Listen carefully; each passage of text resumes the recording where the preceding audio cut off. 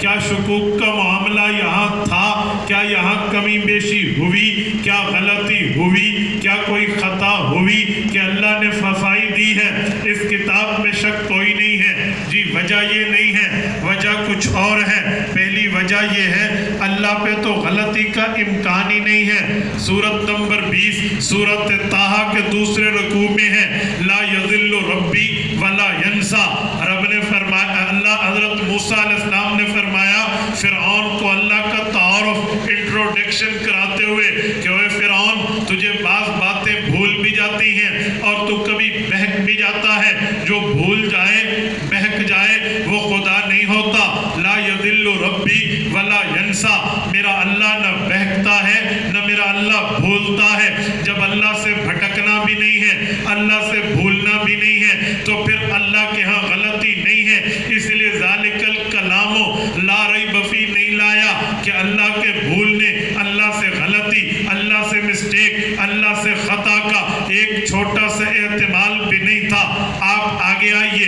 रिसालत में आपकी ज़ात अकदस पे मेरे पाक पैगंबर सल्लल्लाहु अलैहि वसल्लम ने इस कुरान करीम को पढ़ा तो रब करीम ने जालिकल कुरानो लारई बफी नहीं फरमाया कि हुजर पाक के पढ़ने में गलती कोई नहीं, हुजर पाक के पढ़ने में खता कोई नहीं, हुजर पाक के पढ़ने में कोई गलत मामला नहीं है क्यों वजह क्या है उसकी वजह यह है। सूरत नंबर 12 सूरत यूसुफ रब कायनात ने फरमाया है कि जो नबी है, वह कजालिकल नसरिफ अवल नबी से गलती रब होने नहीं देता, नबी से गुनाह रब होने नहीं देता, नबी से खता रब होने नहीं देता।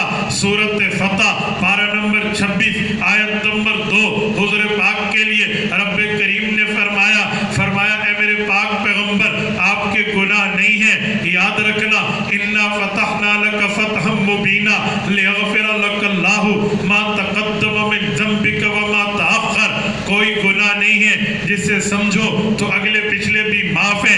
नबी से खता नबी से गलती, नबी से गुनाह मुमकिन नहीं था। तो जालिकल कुरानो लारई बफी नहीं फरमाया। जब बात आई पैगंबर की जमात की, जब बात आई पैगंबर के सहाबा की, जब बात आई पैगंबर की अहले बैत की तो कोई ये बात कर सकता था?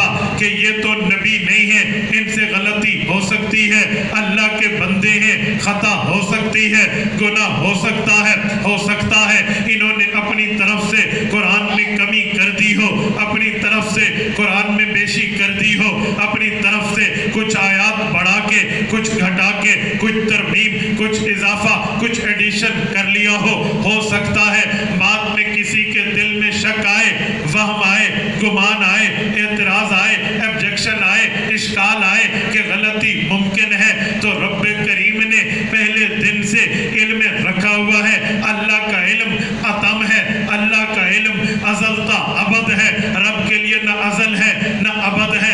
अल्लाह एक एक चीज़ को जानते हैं। तो रब करीम ने पैगंबर के सहाबा, पैगंबर की आहले बैत, जो कातिबीन वही है, जिनके हाथ कुरान करीम के लिखने पे इस्तेमाल हुए, रब ये ऐसी बात नहीं है। फ़ी सहफ मुकर्रमा उठाइए। सूरत अबस पारा नंबर तीस उठाइए। रब ने फरमाया, फ़ी सहफ मुकर्रमा, कुरान करीम के सफहात जो हैं, चाहे वो पत्तों पे लिखे जाएँ, पत्थरों पे लिखे जाएँ, चमड़ों पे लिखे जाएँ, जिस शक्ल में लिखा जाए, फ़ी सहफ मुकर्रमा, ये लिखी हुई चीज़ें बड़ी इज़्ज़त वाली हैं।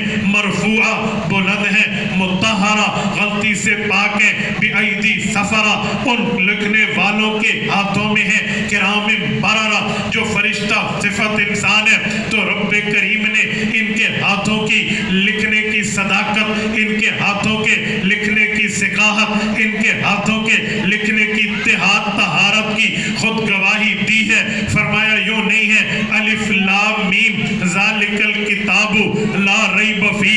ये वो लिखी हुई किताब है, जिसमें शक कोई नहीं। याद रखना, एक शक होता है, एक रैब होता है। शक और रैब, इसमें बड़ा फ़र्क है। शक कहते हैं, पूरे शक को, जिस वक्त बंदा तहकीक करके, सर्च करके, जुस्तजू करके, मेहनत करके एक नतीजे पर पहुँचता है। कहते हैं, अब मुझे शक हो गया, ये ऐसे होगा, क्योंकि शक का माना ये क्या है? शक का मतलब यकीन के साथ किसी पे एतराज़ आ जाना, इसे शक कहते हैं, लेकिन रैब